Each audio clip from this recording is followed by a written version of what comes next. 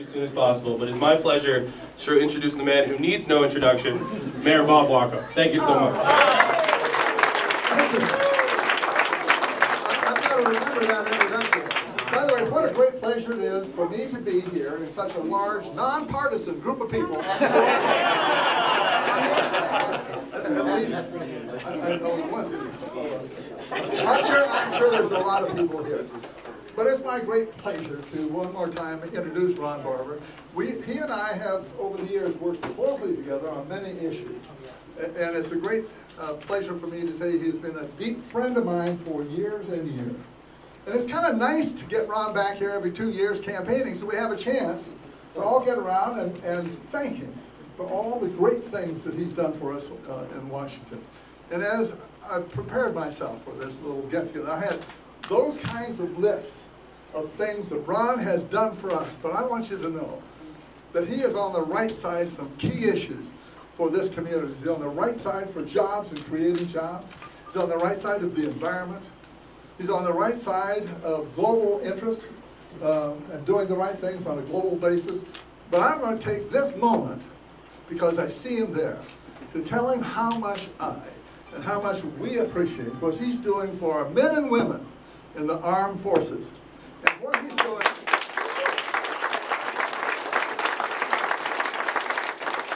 what he's doing to support Davis Monthan. Davis Monthan needs us and we need Davis Monthan.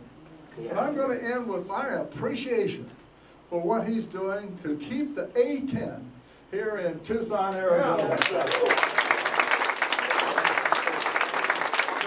head of the airport said, It is the ugliest, most beautiful airplane ever conceived by man.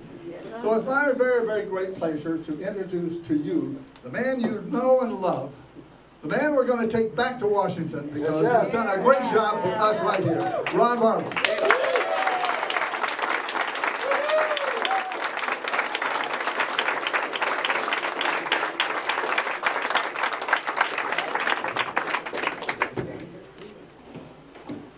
Well, look at all of you.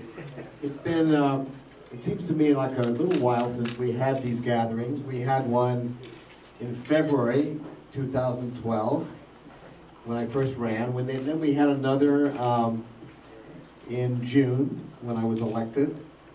And then we had another one in August, after the primary, and another one on the election night, and then we waited 11 days before we could celebrate victory. So you guys have been with me for a lot of these gatherings, and I'm really glad to be with you again tonight.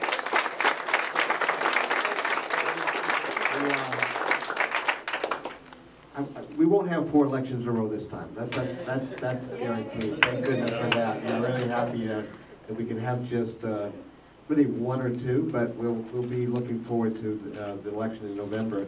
And the- there's a few people, a couple, three people who've joined me up here who I think many of you know. I just want to introduce them.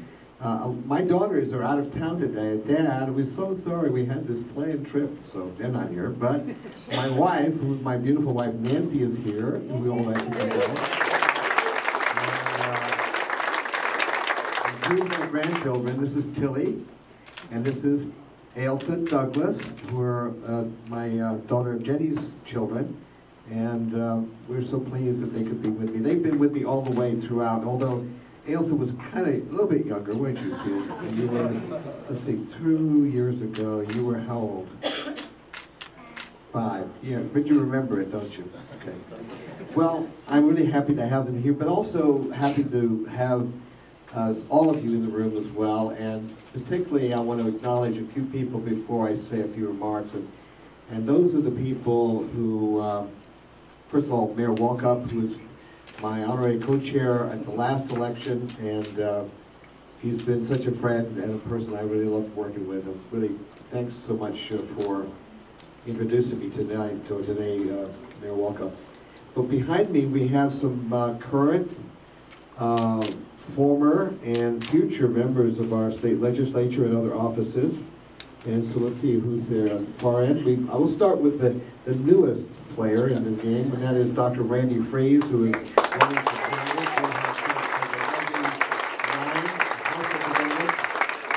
And I think many of you know that Randy uh, not only a great candidate, but the man who was very instrumental uh, on January 8, 2011 in saving lives and uh, attending to all of us who were brought to University Medical Center. And let's see who's next to him. Oh, well, where are we? Oh, uh, Senator Paula Aboud, former Senator Paula Aboud. And uh, next to him, her is Don Jorgensen, the chair of our Pima County Democratic Party. Let's give it up to Don. Office. And Bruce Wheeler, who I've known since we were, I don't know, a long time ago, it seems like. When Bruce first ran for the House of Representatives, in what year was that, Bruce? 1970. 1974. We are, we are dating ourselves a little bit, but I'm back in the house. And uh, a really good friend, and one of my, my dearest, uh, I just love this guy, and I think we all do, because of the work he's done uh, for foster kids and kids generally, and he's a man of great intellect and, and poetry as well, and that's Senator Dave Bradley.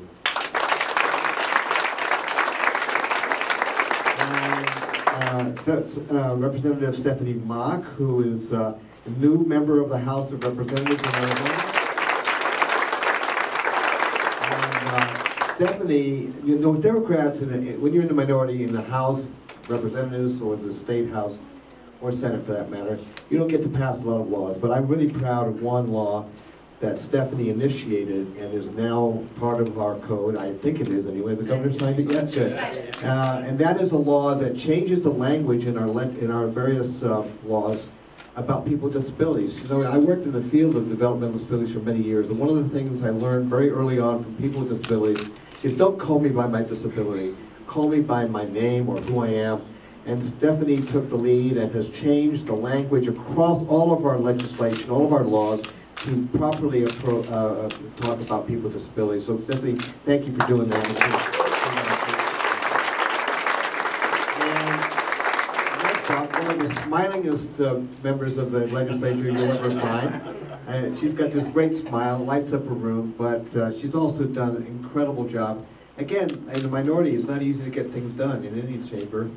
Uh, But Victoria Steele, uh, early on led the charge to introduce legislation to uh, bring about a program that we've had in Tucson, uh, Pima County for a long time, ever since the shooting actually, and that is the mental health first aid legislation. Uh, I worked on a similar concept in, in Congress, and I'm glad to say we got funding there too, $15 million at the national level, and Stephanie, Stephanie, uh, sorry, Victoria was able to accomplish that here in Arizona. So she brought about a quarter of a million dollars in appropriations for mental health first aid in Arizona. So thank you for that. Really, really appreciate it. And next to her is Senator Steve Farley, and uh, news, what is, how do you, what do you call your newsletter? I forget what The it's Farley called. Report. The Farley Report, which is very informative, and people read it all the time, and friends of Farley are many, so I'm really happy to have uh, Steve with us today as well. And of course, uh, Mayor Walkup. And I don't know, have we missed anybody, staff, and I, anybody else that I should be recognizing, an elected official, former elected official? If not, we'll move on. Um, So here we are, getting ready for one more round, huh?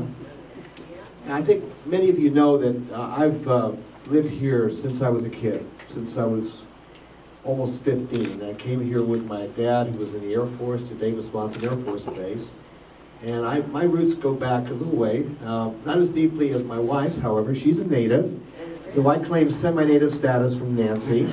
Um, and uh, we met actually at, at Davis Monthan. So, uh, you know, uh, the mayor said a few things about Davis Monthan and my commitment to keeping it viable and uh, long-term, hoping to reverse the proposal that the Air Force has made to divest the A-10, which I think would be a terrible uh, decision uh, for our troops in combat and certainly for our community here.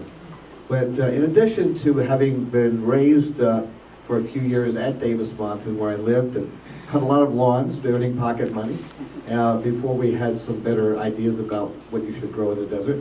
Uh, But I met my wife there, actually. We were at the teen club playing bumper pool, and uh, she claimed she beat me that day. I don't know, maybe she did. She did. But but what I remember about that was I had a crush on her girlfriend. Her girlfriend's uh, name was Beth, and I just had this big crush for her. Unfortunately, it wasn't mutual, um, but she said, she was kind, and she said, I want to introduce you to somebody, my girlfriend, uh, Nancy. And that was the best thing that Beth ever did for me, is to introduce me to Nancy. So a, a dump job that went really well. So Nancy and I have been together, except for while I was overseas with my dad on, on, uh, when he was stationed in England. Um, and we've been married now, uh, forty-seven years, forty-eight in June. So, uh,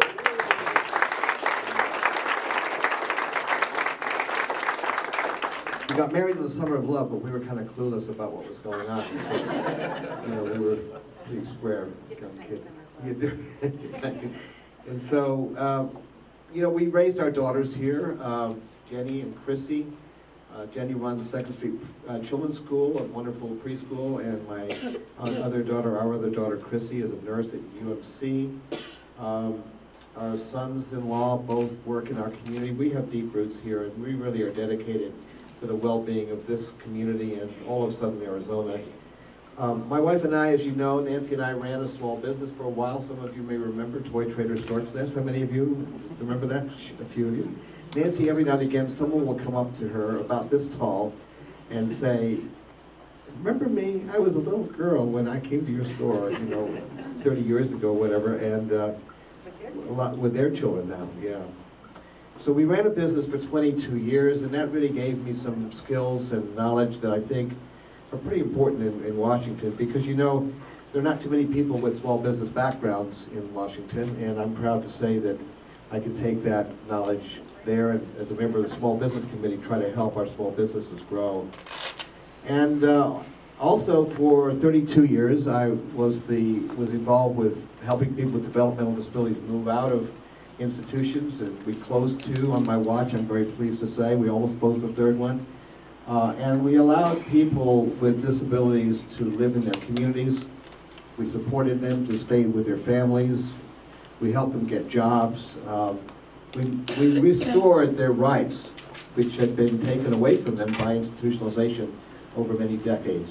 And that's uh, really one of the proudest times of my life, is being able to serve and support families with disabilities and to help young families with kids with disabilities stay together and to learn and grow together. And then um, I met in the state legislature, I met this young woman um, by the name of Gabby Giffords. She was in the House of Representatives and later in the Senate. And I have to tell you that there was no one in that legislature uh, that I, I admired more. Uh, When we had meetings with uh, constituents, her constituents, my, my clientele or customers, people with disabilities and their families, Gabby was the first person there and the last person to leave. She knew what she came to ask about. She had great questions, and she stayed and talked with those families when everybody else was gone. And I had such great admiration for someone who would, be willing to do that. And uh, then, uh, when Gabby decided to run for Congress in November of, December really of 2005, I had this, uh, this uh, idea, this light bulb went on, and I, and I said, I came home to Nancy and I said, you know, I think I'm gonna quit my job and help this young woman, if I can, get elected to Congress. And Nancy said, so does that mean we're unemployed? I said, yeah, it kinda does. But, you know, it was one of the best decisions I've ever made. Uh, January, uh, 8, 2011 notwithstanding, I- what a, what an incredible inspiration she is to all of us, was then to me and still is. And she sets the bar very high. We were together just a few days ago, a couple days ago, over in Yuma, um, dedicating the courthouse to John Roll, who was um, standing beside me when the shooting occurred back in January of 2011. She's an incredible inspiration on so many levels. And some of you may have heard me tell this before, but, but Gabby, you know, always set the bar very high for all of us who worked for her and for herself. And she always either met it or exceeded it. And uh, on January uh, 8th, uh, three years after the shooting, this January 8th, she decided she was going to go skydiving. Yes, You've all read about that? And I saw her a few days later, and I said, Gabby, you know, you've always set the bar high, I've always tried to emulate you, but I'm not jumping out of this plane. No way, that's not going to happen. And she said, oh, you, you. Then a couple, three weeks later, she and Mark were down in Austin with a friend's wedding, and uh, uh, Mark wanted to go run around the, you know, race around the uh, NASCAR racetrack there. And they did it together, and then as they were finished driving 120 miles an hour around this racetrack, Gabby said, I want to do it. And yes, she got behind the wheel of a NASCAR race car, drove it 120 miles around the track several times, the first time she'd been behind a wheel shooting. So this is the kind of person that I'm trying to succeed in Congress. Come on, you know, it's, it's really hard. But as you all know, she is an incredible person and doing such great work right now as we try to deal with gun violence in our country. So um, then Gabby resigned in 2012 and said, Ron, would you run? And this is where uh, I'm always reminded by Nancy of a promise I made countless times over the many years we've been together. I said, Nancy, you'll never have to worry. I will never run for office. and uh, I said it kind of like that too, and it was really sincere. Uh, but here I am in Congress. Who knew that this would happen? But here I am. So, Gabby, right, you know, kind of hard to turn her down, but you were very supportive, as were my entire, my entire family. So I've been in Congress uh, now for um, almost two years. It'll be two years on, uh, on June nineteenth. Um, uh, A day before, I was sworn in, a day before our anniversary, which we celebrated uh, in back to front with the, uh, with the, with the uh, swearing in. And it's uh, been an incredible ride. I've been so honored and so privileged uh, to serve this community in this way. I've always been involved with public service from my time at Head Start, through developmental disabilities, to working for Gabby. I never expected to have this opportunity to serve this community that I love and that we have such deep roots in. And I'm really just, uh, I'm just, I can't believe that I've been given this opportunity to be hired to do this job. And uh, I'm hoping that the people of Southern Arizona will hire me back in November of this year. We will, we'll hope. So, uh, so what have we been up to for the last two years? A lot of things. Uh, You know, the Congress is often described as dysfunctional and gridlocked, and there's certainly a lot of truth to that. But in- beneath those headlines, there are actually people trying to get things done. And I'm very proud to work with people on the other side of the aisle, as well as people within, the- within the Democratic caucus, to try to, to get some sensible things done. We don't have too many victories, but we have some. The first time that I was able to high-five my colleagues over a victory on the floor of the House was when last year, we finally, after 18 months of pushing and prodding and embarrassing uh, our colleagues who weren't willing, we passed the reauthorization of the Violence Against Women's Act. It was a great victory for women and everyone across the country. So we want more of those, right? And sometimes the only way to get them is to actually have a majority, which we may actually do. I'm, I'm not, I'm not uh, pessimistic about it at all. I think we can actually do this. And- Only seventeen. That's right. That's- I mean, that's easy, right? We got eight last time, we should be able to do it. And so in that time, since I've been there, you know, we've gone across this district to every corner. I love traveling in southern Arizona. One of the most beautiful sights uh, that you can have, if you have, if you- if you've done this, you know, is you're coming through, over the mountains and going into Bisbee, before you get to Bisbee, you have this incredible vista of the valley below, and it is absolutely stunning. And that and many other spots in this district are so beautiful, and we have to make sure we hold on to those spaces and that beauty and, and preserve it for our children and grandchildren and way beyond. Um, We've held countless meetings uh, all across the district. As Bob mentioned, one of my biggest areas of focus is making sure that we care for our veterans. You know, they've put on the uniform, they've done what we asked them to do, and when they come home, they, they should have the commitment that we made to them when they put on that uniform. We should fulfill it. And I'm very concerned. Very concerned about the, the two signature wounds of these wars that we've, we're winding down in Afghanistan and previously in Iraq, and that's uh, post-traumatic stress disorder and traumatic brain injury. These are the two injuries that many men and women are coming home with, It's estimated that maybe five hundred thousand will be dealing with these injuries, uh, in, in when we finish, uh, our, our time in Afghanistan, and we're not ready.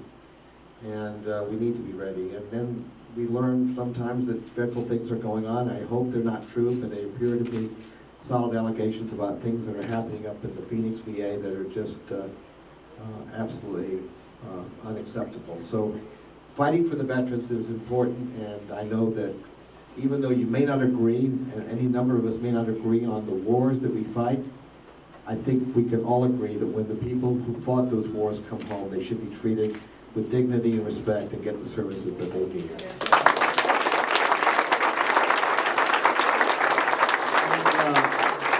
So I've made a promise that I will do everything I can to expand benefits, to push on the VA, to close these uh, long wait lines and wait times for benefits. And actually, the highest caseload of any caseload in my office, congressional office, is for veterans, uh, as it should be, because we represent 85,000 veterans in this part of the world, and uh, it's the largest, uh, it's it's about the fifth largest congregation of of veterans in the whole country in any district. I also made a commitment to seniors, uh, and we have, as you can imagine, thousands and thousands of seniors who live here in Green Valley and Sierra Vista, and all across this beautiful district. And uh, they, I think, have a right to expect that we're going to fulfill our promise to them. You know, people say that they have entitlements to Social Security and Medicare. I don't call them entitlements at all. I think it's the wrong word. The right word is investments, because every one of the people who are drawing on Social Security or hope to, or Medicare or hope to, have been put money into that fund over their years of work. Not entitlement, it's investment. I want to make sure that it's kept as a guarantee when people retire. They ought to be able to be assured of economic security and health security and those two programs provide for that, and we're gonna fight anyone who tries to take that away or diminish it or privatize it.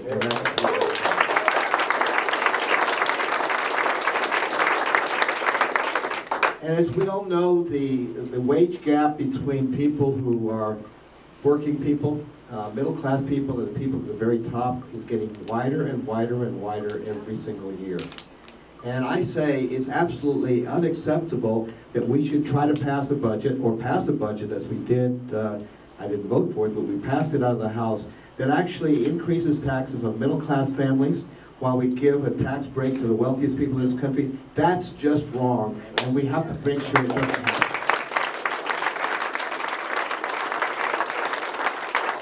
We're there in, in Congress fighting for border security, smart border security not spending billions of dollars that really are wasted, but instead being smart about how we do it and making sure we listen to the people who live and work on the ground.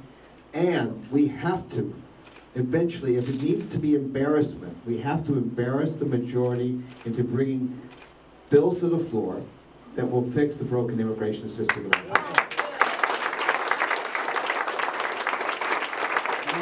Uh, I've, met with many families and young people, particularly the dreamers, and if you've not met with some of these dreamers, you really should. Um, I'll, I'll give you one story that was happened to me recently, or one an incident that was recent. Um, I was at an event, and this group of young dreamers came up and they said, "Ron, can we pray with you?" And I said, "Certainly." So we joined hands and prayed. And uh, after it was over, this young man came up and he's streaming with tears, and he said, I'm a dreamer. I want to go to college. Uh, I've lived here since I was two years old. My parents brought me here. It's only been in the last recent time that I realized I wasn't an American citizen. I want to be an American citizen. I want to serve the country in every way possible. And this fear, the tears were streaming. I said, why are you crying? He said, because my grandfather, who I've only seen twice, was ill um, a half a year ago and I couldn't go to see him, and he died without me seeing him. And those, that's, those stories are abundant. We, we have to do something about that. We have to do something about immigration reform because it's good, makes good sense economically, and it's the most humane thing to do. And one of these days, we will come to our senses and we will actually bring it to the floor for a vote. You can certainly count on me to be strong in that. Now, There's, um, there's another issue that I think is very important to many of you in this room, and it should be important to you whether you're a man or a woman, and that is pay equity. You know, we have a situation in our country, even though we passed pay equity laws many years ago, that we still have, and I know people dispute this, we still have great inequity between men and women who are doing the same job. We have a seventy-seven cent to the dollar inequity on the median income across, across the country. But when you get into individual jobs, where the, the same job is being done by a man or a woman, pay inequity exists in those jobs as well. So people who try to dismiss it as saying, oh, you're comparing apples and oranges, they're really not being truthful. The truth of the matter is, and many women in this room, I think, could say it, and I had a roundtable just a few days ago where women told me this straight up. We are still dealing with pay inequity to this day, and it's still a huge problem in our country. And I'm proud to be a co-sponsor of the Paycheck Fairness Act, which will, if we get it to the floor and get it voted on, and get it through the Senate and signed by the President, will once again ensure that women are treated equally in the workplace for.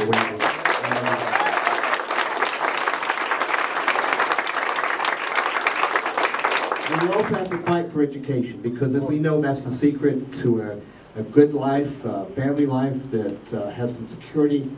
And we have done a miserable job, particularly in Arizona, and I know the folks behind me have worked hard to prevent it. But our state legislature somehow thinks that education is not even in the top twelve priorities. In fact, in, over the last several years, Arizona has gone from somewhere in the thirties uh, to fifty-first in the nation in terms of what we pay, what we invest in education.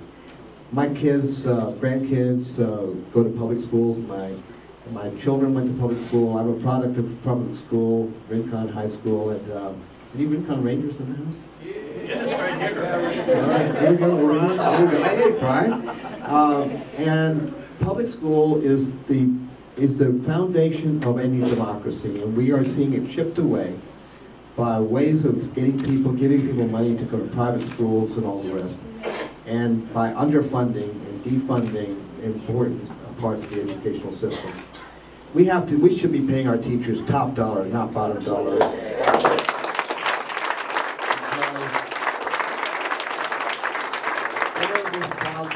For, for so much of what happens to our kids to be competitive in this highly technological global economy that we're in. So those are some of the things, and there are more, but I'll, I'll leave the list there about the things that are important to me. I'm trying to work hard on in Congress, and I am working as hard as I can to find allies on both sides of the aisle. Believe me, there are some uh, who want to do this. But let me talk about what this election is all about. It's about contrasts. It's about clear differences between the two candidates. And while my opponent, my likely opponent, does have some competition in the primary, it's unlikely that, that she will be defeated. She will come into the general election uh, as she did in 2012. And here's where we are different. Our contrast could it not be more stark. She, first of all, is closely aligned with the Koch brothers. Yeah. Uh, Not only have they spent $1.3 million in funding attack ads against me since October, one of five Democrats in the country that is being targeted by the Koch brothers, but she, she got $10,000 from them in her campaign coffers the last quarter. There's no question that they are aligned, and they are aligned on some important issues that should matter to all of us. The Koch brothers want to privatize Social Security, and so has my opponent said she would like to do the same thing. Ron, why don't you call her a liar when she talks about Obamacare that it doesn't do anything? It Well- does lots of things. Call her a liar. Go on I, I, TV like they, I won't like use the word liar, but we'll talk about it in other ways, perhaps. But the other thing that's different, or that's to- to where she's aligned with the Koch brothers, is they would like to do away with the minimum wage, and so would she. And we, I mean, come on, really, we need to increase the minimum wage, not do away with it, obviously. You know, um, back in 2012, she said she supported the, the Ryan budget plan.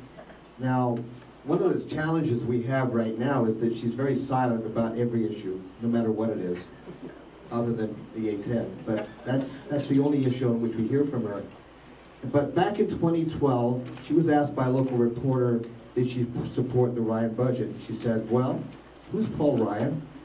And then, about a month or so later, she said, yes, I support the Paul Ryan budget, which means that we would voucherize Medicare, which means we would tax middle-class families to give tax breaks to the wealthiest people, which means that we would cut Pell Grants, slash Pell Grants for kids who want to go to school, which means we would increase or decrease the funding for uh, food stamps by several billions of dollars, and on and on and on. But today, asked if she would support it or not, she dodges the question. She said, well, it doesn't have the A10 funding in it, so I guess I'm not for it. Well, that's not true. Um, Because, you know, that's not how you fund individual items. That's, this is just a budget guideline. But that aside, that's all process. It really is about someone who will not stand up and be counted on the issues. Now, I know that some of you in the room have disagreed with me on some of the votes I've taken. I think that's probably true. But the one thing you can count on, whether you disagree with me or not, you will always know where I stand. And that's a contrast between me and my opponent. She will not tell you where she stands.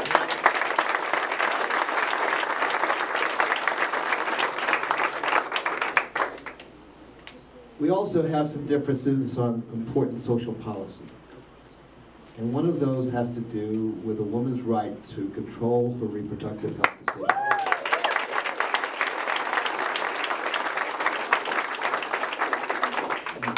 Some people will disagree with the right to choose an abortion, and some people will say it should be available to any and all women. But regardless, my view is, it shouldn't be a bureaucrat, it shouldn't be a politician, it shouldn't be a governmental person telling a woman her decision to make, it should be her decision to make.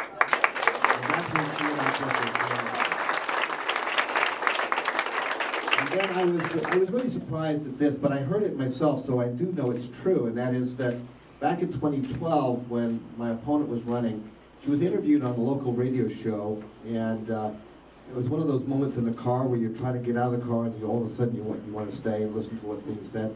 So I stayed and listened to the answer, her answer to the question, do you believe that an employer should be able to uh, uh, not provide contraceptive services for their employees under their health care plan?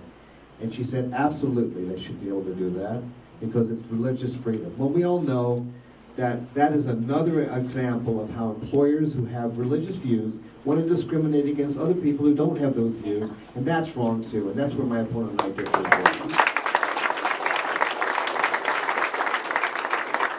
And when asked recently about the- her position on marriage equality, she said, after a bit of hemming and hawing, that she really did not think that um, same-sex marriage was okay, that the only real marriage should be between a man and a woman. Well, let me just tell you this.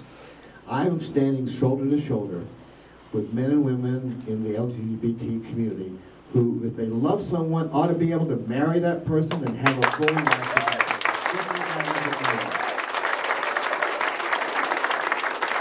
So this is going to be an election filled with contrasts if we can ever get my opponent to make a point. All we know really is what she said in 2012, and unless she says otherwise, we assume she still believes those same things. So here we are. We've got an outside group with multi-million dollars in their deep pockets, their dark money coming into our community trying to steal this election through a group called uh, Americans for Prosperity, very nice sounding name, or Libre Initiative, which is appealing to Latino voters in our community, who are saying over and over again the same thing. It's all about the Affordable Care Act, what they call it Obamacare. And um, so they're trying to, if they can, to steal this election and have this trophy of the seat that was once held by Gabby Giffords and Mo Udall, and now by me. They want this seat badly, and we're gonna not let, we're gonna make sure that doesn't happen. You know, we, we have deep roots here. We welcome new people all the time. And we, we, we say this is a community that's diverse, it's a community that's filled with people from all kinds of cold parts of our country. And we love them when they come here. I go to Green Valley often, and I usually ask the question in the Green Valley audience, how many of you are, were born in Arizona? And if I get one answer, it's usually from the guy that's the janitor, he's been here forever, but not from the people in the audience, you know? So we know that we welcome people here, and I certainly welcome my opponent here. But, you know, don't go telling people you're a Southern Arizona when you've been here for three and a half years, okay? Um, Don't tell people you know this district when you have not been in this district. And don't tell people you know how, what the people of this district want and need if you're a newcomer like that. I mean, I, I respect newcomers, but don't get me wrong, when you call yourself a Southern Arizona, you have to have spent more than a couple of minutes here to call yourself.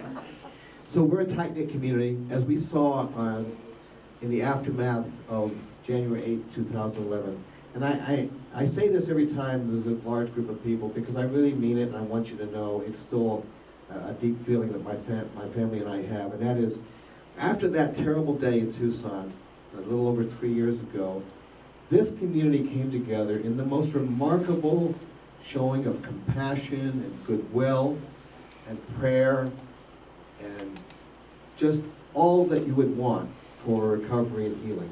Our hearts were broken, our mental health was damaged as a community, but we came together to heal together, and I would really am so grateful to the people in this room and all the people who, who came to our house, who sent cards, who brought food, who just loved us and took care of us while we were recovering, as they did all of the other survivors and the families who lost loved ones. That's this community that I want to serve well into the next uh, two or three years, and I hope you'll help me get there. So, let me, let me wrap it up with this. You know, uh, this election's going to be hard fought. We won by 2,400 votes in 2012. It took 11 days to find out the end result.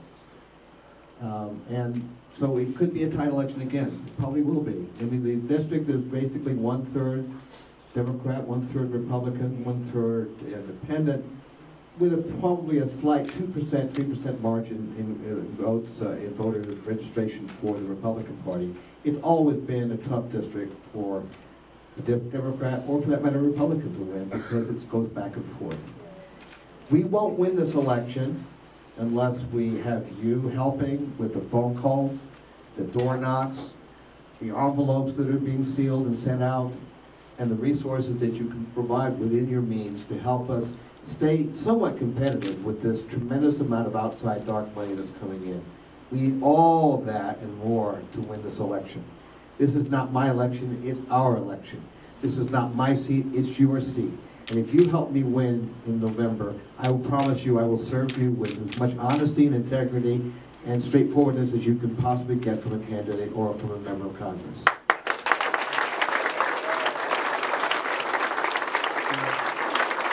Back 2012, uh, some of you have heard this before, so forgive me for repeating it, but it's, it's a pretty good story, and I like to tell it.